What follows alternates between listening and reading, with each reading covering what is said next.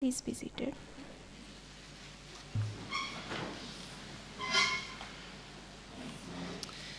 So, our readings today are going to start in Genesis and end in Revelation. Um, so, the, all the, um, the books that we're in will appear on the screen, and I'll try to help you keep up with, with the route that we're taking. So, it's a bit unusual. We often have two readings, but today we have more than two, just short readings. So, we'll start in Genesis chapter 3, and I'll read verses 21 to 24. The Lord God made garments of skin for Adam and his wife and clothed them. And the Lord God said, The man has now become like one of us, knowing good and evil.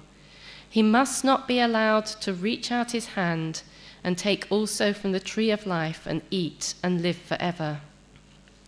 So the Lord God banished him from the Garden of Eden to work the ground from which he had been taken. After he drove the man out, he placed on the east side of the Garden of Eden cherubim and a flaming sword, flashing back and forth to guard the way to the tree of life. And now we go to Leviticus chapter 26 and starting at verse 23. In spite of these things, you do not accept my correction, but continue to be hostile toward me. I myself will be hostile toward you, and, you will, and will afflict you for your sins seven times over. And I will bring the sword on you to avenge the breaking of the covenant. When you withdraw into your cities, I will send a plague among you, and you will be given into enemy hands.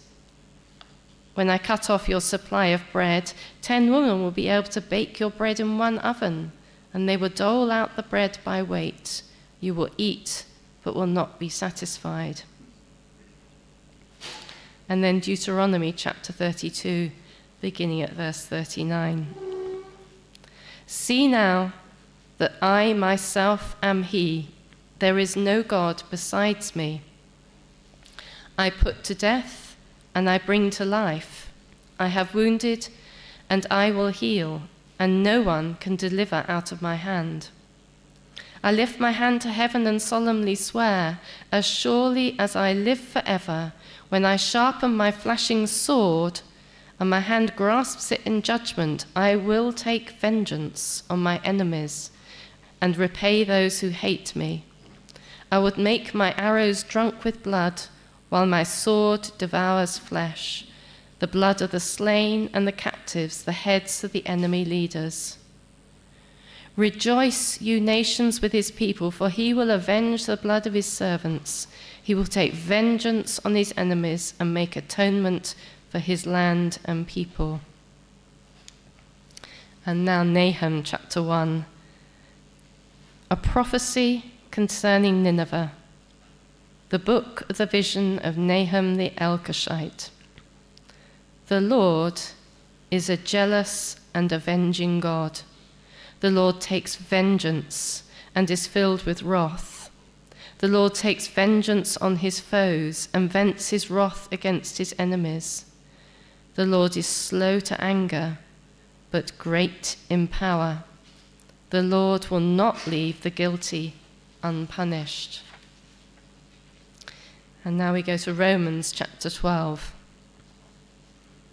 Do not repay anyone evil for evil be careful to do what is right in the eyes of everyone.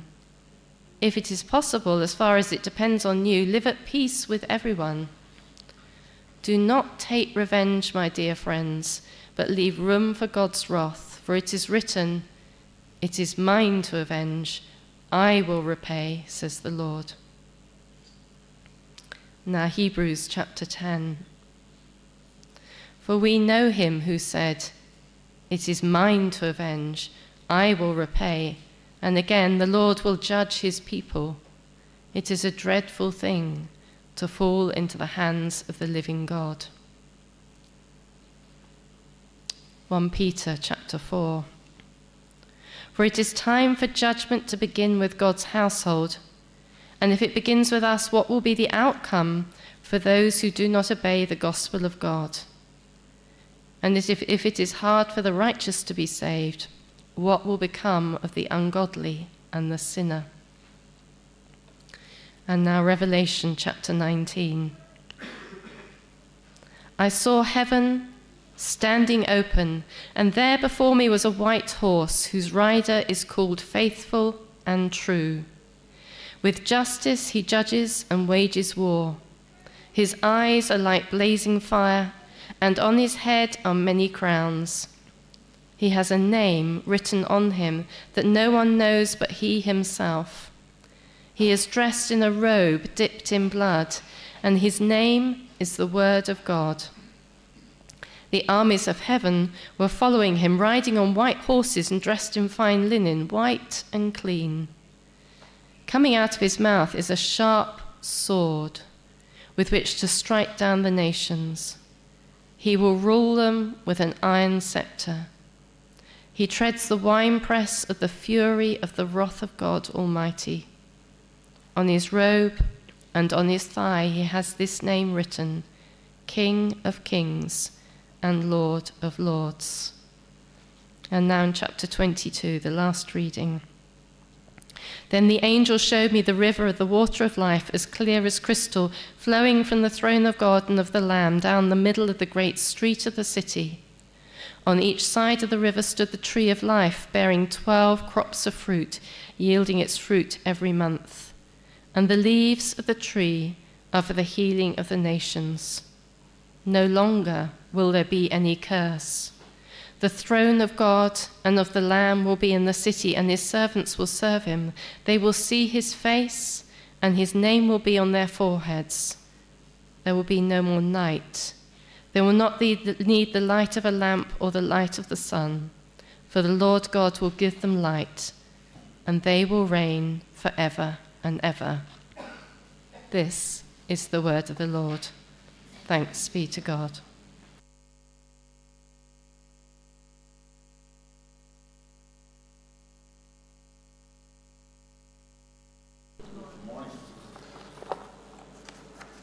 Well, that's a cheerful group of readings. Um, Zamira, can you just turn the light off, please? Can you turn the lights off? Because the first picture I want to show uh, shows up better when it's dark. Um, is there an Italian in the house this morning? No one from Italy? Good, well, I can get away with what this is called. This is called chiaroscuro. Probably not what the Italians call it, but it's a painting which shows deep contrast between darkness and light. This one is doubting Thomas, where Jesus invites him to put your finger into my side. The next one is by, oh, that first one, by the way, was by Caravaggio. This one is by Nikolai Nikolaevich Ge, a Russian painter and it shows Jesus on trial before Pilate. And again, there's this deep contrast between the shadows and the light. The next one is from Rembrandt, The Return of the Prodigal Son. It's found in the Hermitage in uh, St. Petersburg. Again, deep darkness. No, go back, go back. Deep darkness and light. See the contrast. Now, the next one. The Adoration of the Christ Child by Van Honthorst, a Dutch painter. Do you see how the light is coming out of the baby and lighting up the faces of the children? Contrast between darkness and light. And the final one. This is supper at Emmaus by Rembrandt. Not a famous picture, but it's there. Jesus himself looks to be in the dark, but out of him is shining the light, and Cleopas is amazed at what he's hearing. And in the far distance, you can see, presumably, Mrs. Cleopas washing the dishes after supper. Well, the lights can go back on. You might be saying to yourself, Come on, Neil, get to the text. You're the first person to complain when the preacher doesn't get to the text. Well, all will be revealed. We're halfway through our sermon series on the minor prophets. And last week, we looked at the minor prophets through the lens of Romans chapter 1, verse 2, where it says the gospel was promised beforehand in the prophets. We've seen in Hosea God's faithful love. We've seen in Joel that the Spirit will be poured out on all people. In Amos, seek me and live. What an invitation, a kind invitation. Obadiah, the kingdom is the Lord's. Jonah, where the Lord saves a wicked city and an unrepentant prophet. Micah, where there's a promise that God will bury our sins in the deepest sea. But today we come to Nahum, a prophecy concerning Nineveh, the book of the vision of Nahum the Elkoshite. We don't know who Elkosh was or where Elkosh was. The prophecy of Nahum, however, is directed against Nineveh. It's the prophecy that Jonah wished had been enacted on Nineveh. Nineveh was the capital city of Assyria, the great northern superpower at the time. Nineveh was powerful and developed. Um, this is a map from Jerusalem to Nineveh. It would take you about 257 hours to walk, apparently, according to Google. It's 1,138 kilometers. It's about half the distance if you were to walk from Bishkek to Delhi. Desert in the way, not mountains. Nineveh was surrounded by water, by rivers and canals and lakes. It was brutal and it was beautiful. It was famous for its violence and its bloodthirstiness. It was a merciless conqueror of anyone who got in its way. It was a master of cruel and unusual punishment. And Nineveh was eventually destroyed by the Babylonian king Nebuchadnezzar in 612 BC. But how would the people of Nineveh ever hear the word of the Lord? It was over a thousand kilometers to the northeast of Jerusalem. How would they know that there was the threat of, uh, of destruction?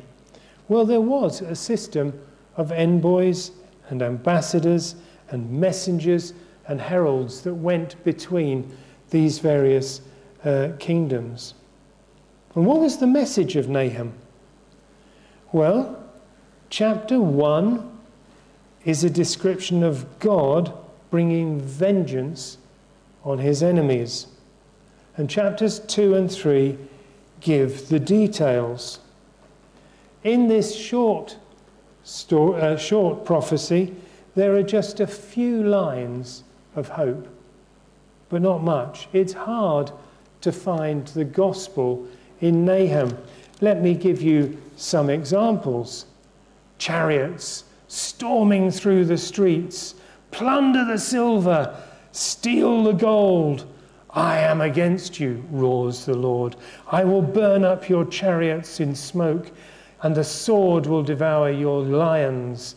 The crack of whips, the clatter of wheels, galloping horses, charging cavalry, flashing swords, glittering spears, many casualties, piles of dead bodies without number people stumbling over the corpses.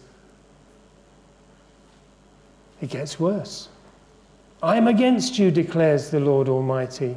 I will pelt you with your own filth. I will treat you with contempt and make you a spectacle. Nineveh is in ruins. Fire will consume you. The sword will cut you down. It will devour you like a swarm of locusts Nothing can heal you. Your wound is fatal. It is a stereotype of the Old Testament God. You might say to yourself, Where is the gospel? Nahum says, The Lord is a jealous and avenging God. The Lord is slow to anger and great in power. The Lord will not leave the guilty unpunished. The Lord is powerful over the forces of nature. The Lord is irresistible in his anger. The Lord is good to those who trust in him. And you might be saying to yourselves, Where's the gospel, Neil? Where's the God who so loved the world? Where's the promise of the Holy Spirit? Where's Jesus dying for our sins? Where's the hope of the resurrection? Where's the promise of heaven? Where is freedom from sin? Where is light and life and liberty? Where, where's adoption into the family of God? Where's the gospel, Neil? Why are you preaching from Nahum? Because it gives us so little hope. Nahum gives us blood and torment, war and savagery, death and judgment. Where's the gospel?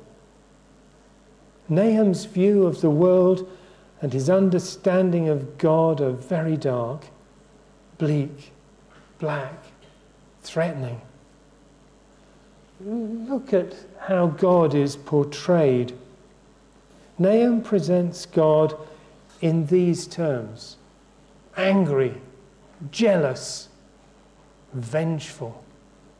The Lord is a jealous and avenging God. The Lord takes vengeance and is filled with wrath. The Lord takes vengeance on his foes and vents his wrath against his enemies. Um, the, the root word here is venge. You have revenge, avenge, vengeance. It's all the same thing. It's to pay back. Let's look at these three emotions jealousy, vengeance, and anger. Jealousy. Jealousy is what an insecure boyfriend thinks when his girlfriend talks to someone else. Jealousy is a low human emotion, conceived in fear and brought to birth in doubt. How can God be jealous? It's a ridiculous thought. But God's jealousy is a sign of his faithfulness because he will do everything to win back the bride, as we saw in Hosea. Vengeance. Vengeance is an, what embittered humans do. It's the ugly desire to repay insult with injury. There's a whole genre of movies about vengeance, and they're all ugly. And it's all around the idea of don't get mad, get even. Well, actually, get one back.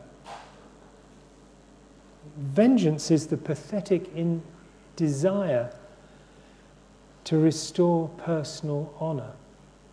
I've been offended, I've been insulted.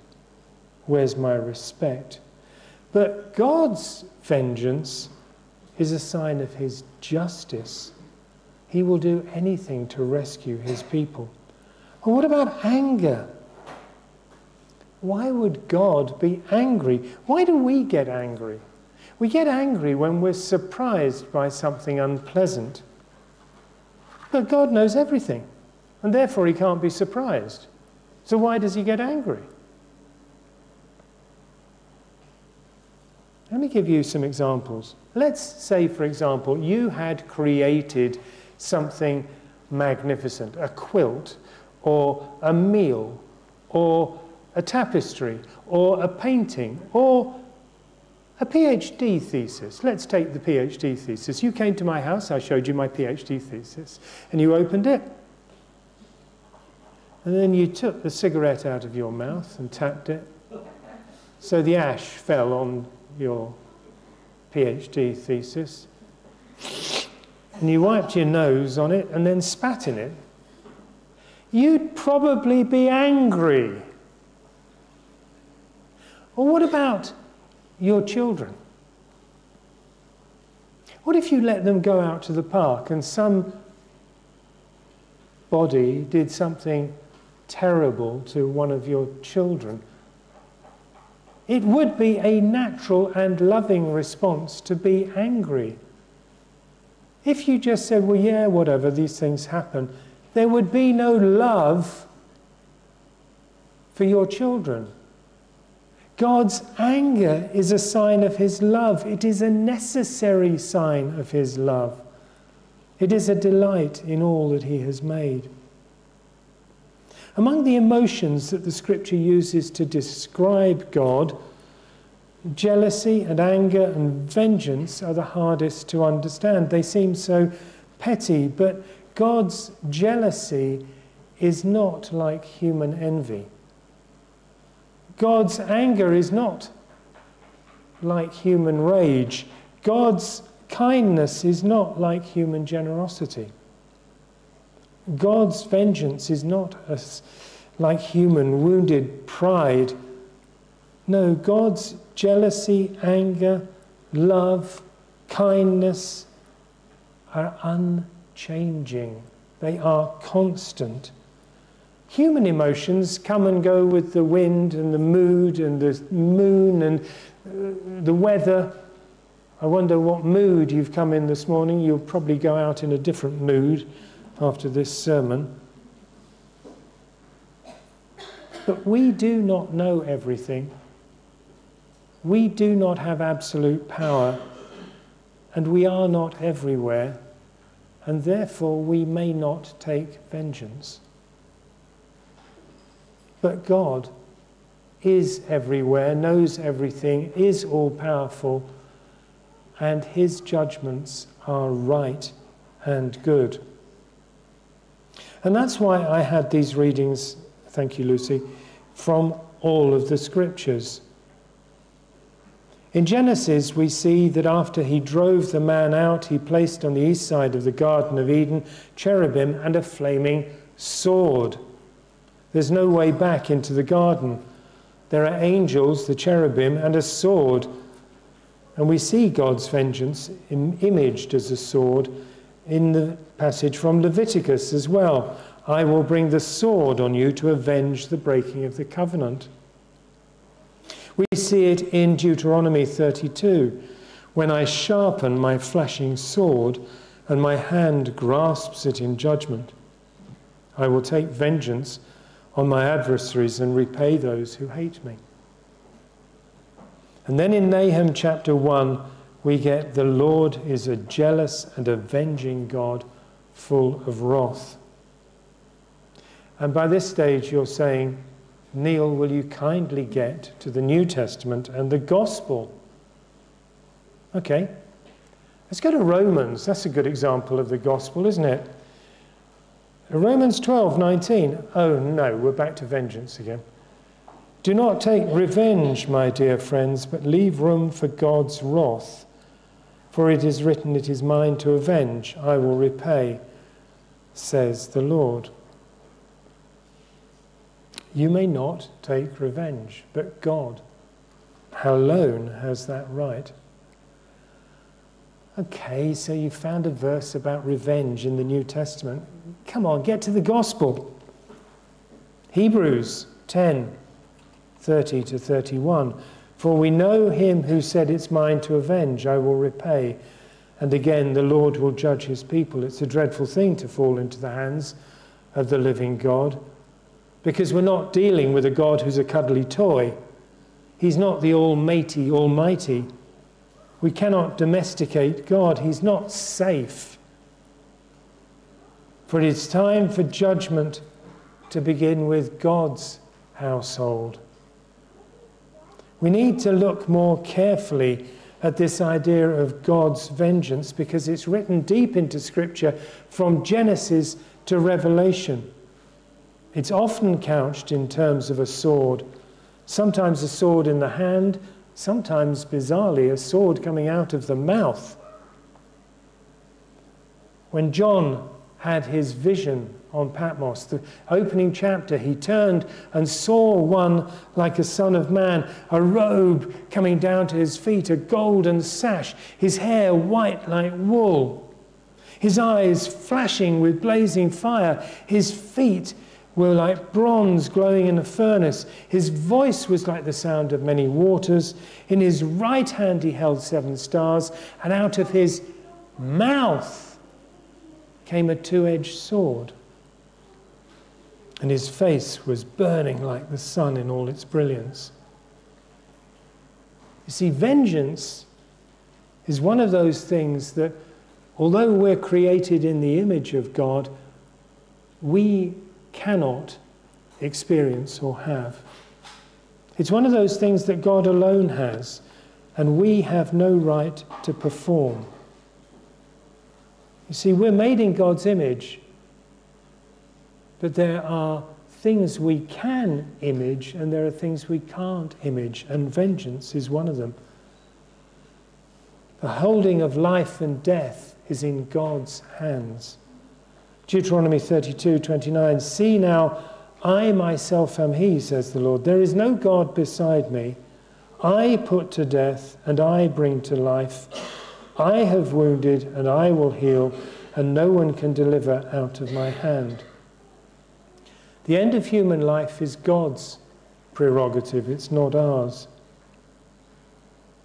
If you go and buy a mobile phone, if you don't plug it into the mains, the battery runs out and it'll die. And there's no point complaining, oh, Samsung are so mean, you have to keep on plugging this thing into the, back, into the mains. Human beings are no different. We have to be plugged in, connected to the source of life, who is God Himself. And if we don't, we will die, just like our mobile phones die when not attached to the source of power. God is the source of life and He's the purpose of life. God gives life and He withdraws life. When the Lord ceases to give me breath, I will go before Him and I will have one and only plea that Jesus Christ has died for me. You see, the rider of the donkey who came into Jerusalem is the rider of the white horse. He came in humility to bring salvation. He waits with patience for us to turn to him. But there is a day of judgment coming, for we must all stand before the judgment seat of God. We must all appear before the judgment seat of Christ. Every knee will bow before him, every tongue will confess that Jesus Christ is Lord to the glory of God the Father. We, we all have a desire that ultimately the wrong things in this world will be put right we desire that slavery will be abolished and that slave traders will be brought to justice. We desire that land seizures may stop and that the thieves will be brought to account. We desire that wars will cease and warmongers will be punished.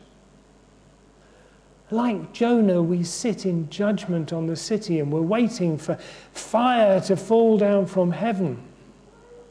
Like David, we cry out, Oh, that you would slay the wicked.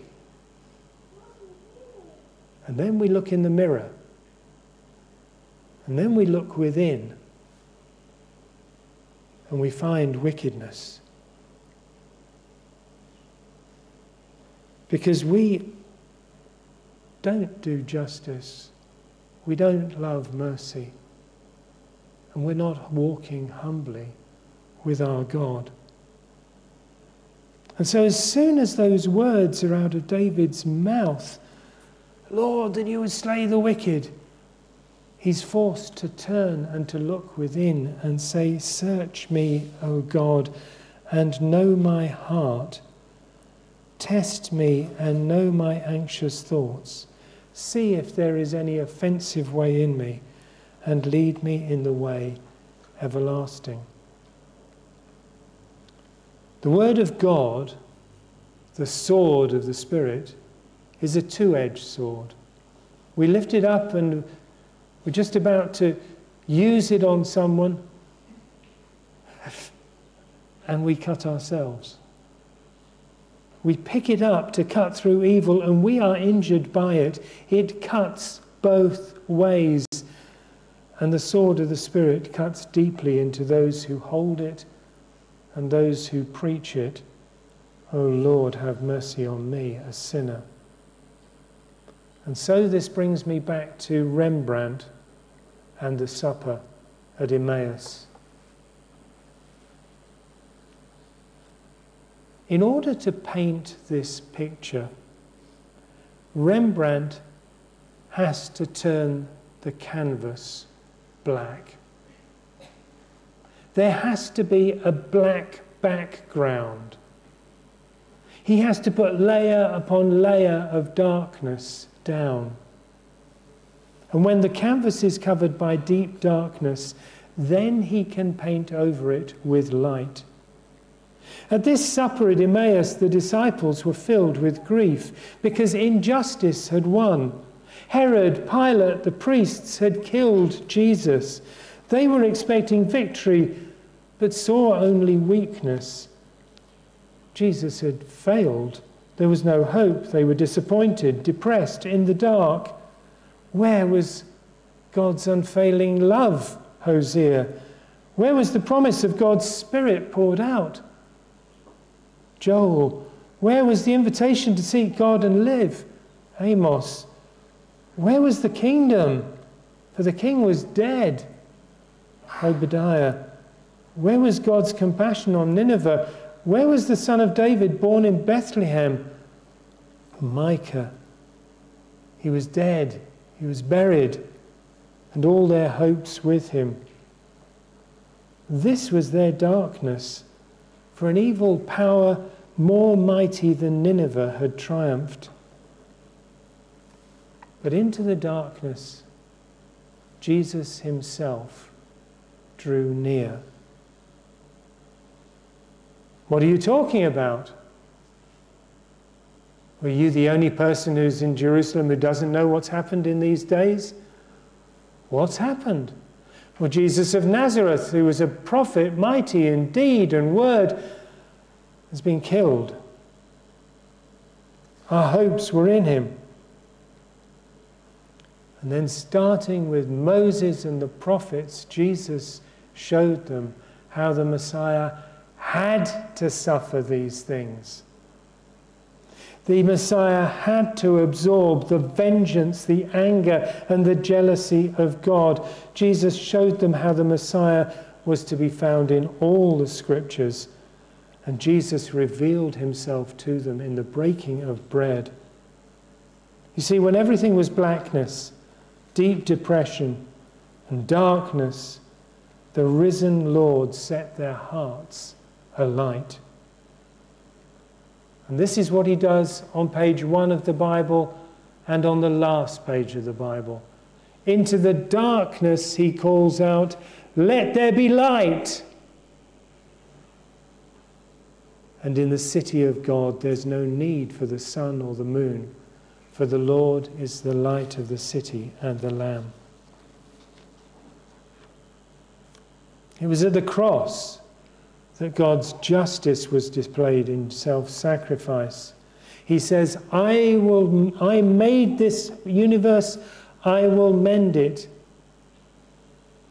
He is the creator and the redeemer. It was at the cross that God's wrath was satisfied, and to bring light that he entered into the darkness. It was at the cross where God's jealousy was satisfied by obedience the crucified Saviour does not call out for vengeance, but for forgiveness. Father, forgive them. They don't know what they're doing. The crucified Saviour says, It is finished. And then onto this black background, he shined the light of the resurrection, the hope of glory, the power of the Spirit, the community of the church, eternal life. See, Christ is in all of the scriptures. The gospel was promised by the prophets in advance. Nahum paints the darkness of God's judgment, which will be worse than anything we can possibly imagine. But God's grace is deeper than we can possibly fathom. This painting of the blackness before the light is exactly what Paul does in the book of Romans. We've just finished a sermon series on Romans. The first three chapters, unremitting bad news. All have sinned, darkened hearts, depraved minds, degraded bodies. God has given them over. It's the bad news of the gospel. And then he starts to paint the good news. The righteousness of God is revealed. We're justified by faith. We're redeemed. We're released. We are grafted into the promises and covenants of Israel. We're adopted into God's family. So, how should we read Nahum? It is the black background of the judgment of God against which the gospel is painted. God's first messenger to Nineveh was Jonah. He went very reluctantly by fish, and he came, and God saved the city. God's second messenger to Nineveh was Nahum with a judgment. God is slow to anger, great in power, but he will not leave the guilty unpunished. So, living between that offer of salvation and the day of judgment, let us not show contempt for the riches of God's kindness, forbearance, and patience, not realizing that God's kindness is intended to lead us to repentance.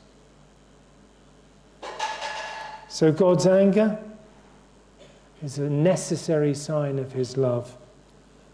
God's jealousy a necessary sign of his faithfulness. God's vengeance, a necessary sign of his justice. We come before an awesome, pure, holy, and righteous God. Let us reach out for his salvation. Amen. Let's pray.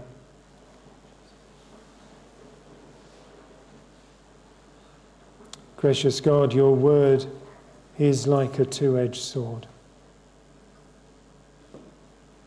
We need you, Lord God, to apply your sword to our lives. Cut out that which is not from you and preserve that which is from you. Lord, Lead us to repentance, we pray. In Jesus' precious name. Amen.